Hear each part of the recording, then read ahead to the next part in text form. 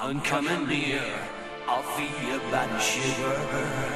Tonight I'll dare, oh baby I go wild. Do you still fear, your trees are my desire?